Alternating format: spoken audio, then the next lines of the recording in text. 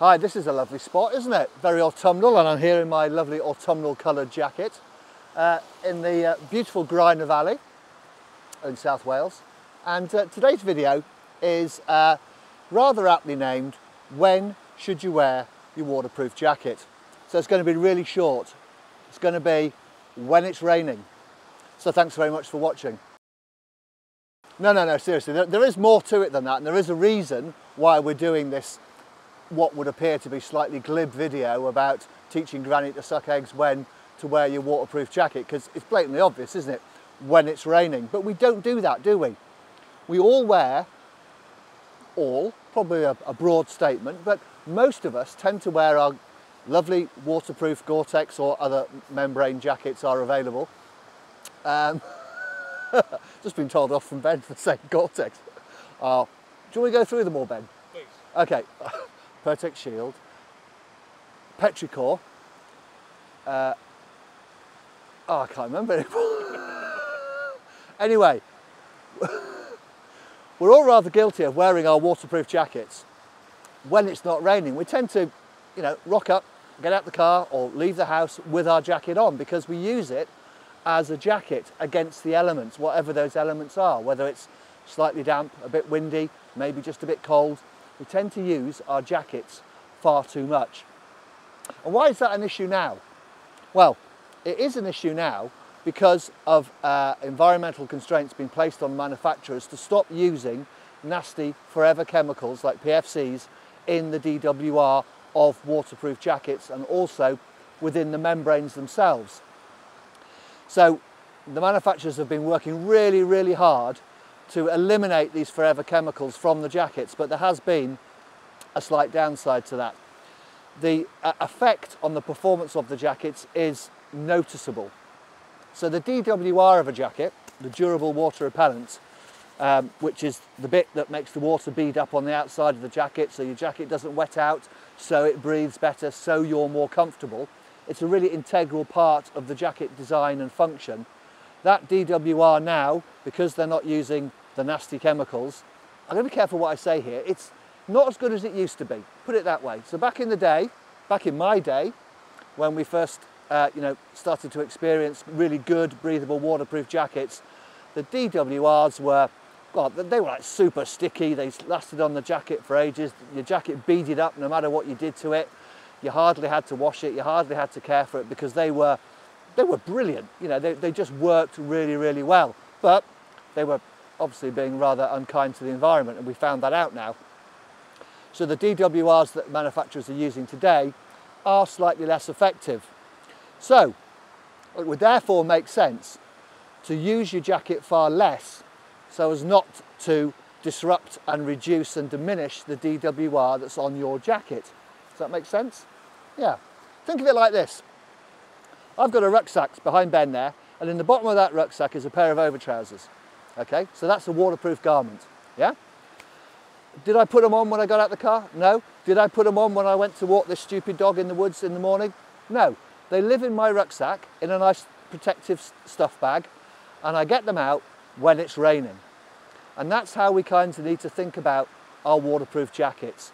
We need to try and maintain the DWR on the jacket for as long as possible. So that means wearing it less, uh, exposing it to less wear and tear, and just being kinder to the jacket in the first place. So how often have you gone out for a walk, even just walking the dog in the woods? How have you gone out with your jacket on and then 10, 15 minutes later thought, I don't really need this jacket on, I'm getting all hot and sweaty and uncomfortable. You take your jacket off, hey presto, you feel much better.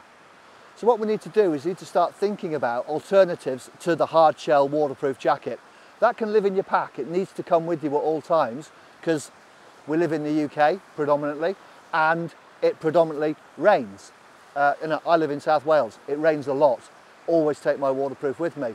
And I'm also guilty of just sticking it on and going for a walk and then ending up carrying it for most of that walk. So we need to think about alternatives to that hard shell.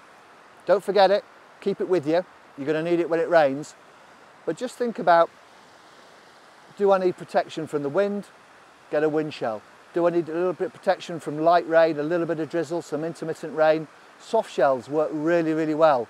So there are alternatives that you can use that will protect you better, you'll feel more comfortable, you'll be more you'll be able to breathe better, your temperature will regulate better, and also you'll be protecting your jacket and making sure that when you do want to use it, it's at its absolute optimum performance. It hasn't been degraded just by general wear and tear when you didn't need to be wearing it.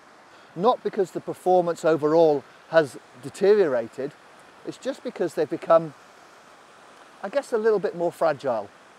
I, and I use that word with caution. I don't mean they're going to you know, disintegrate over the years.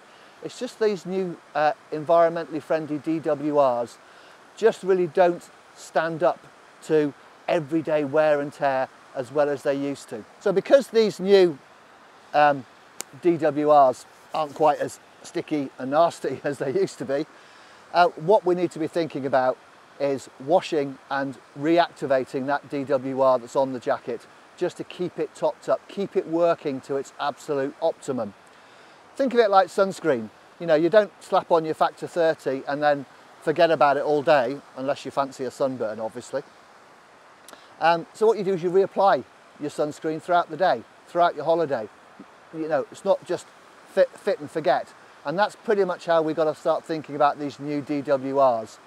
They are more prone to being worn off and they need reactivating and rejuvenating through washing and using the, you know, the correct rejuvenating products, you know, Grangers, etc., etc. There's plenty out there. Um, but that needs to be done on a much, much more regular basis. So regular washing, regular rejuvenating of that DWR is going to make sure that the jacket stays, thanks Willie, that the jacket stays performing superbly and also keep it out of the way until you absolutely need it. Keep it in a stuff sack, in your rucksack, until you absolutely definitely need it. Don't just stick it on and leave it on all day. So I hope that gives you a broad overview about when and where to wear your waterproof jacket. And, uh, and here I am telling you, and, I, am wearing it on a, on a beautiful day. We've got blue sky, we've got sunshine, it's cool, it's a bit chilly, it's breezy. I don't need to be wearing this. I'm only wearing it because Ben told me to stick it on because it looks nice on camera.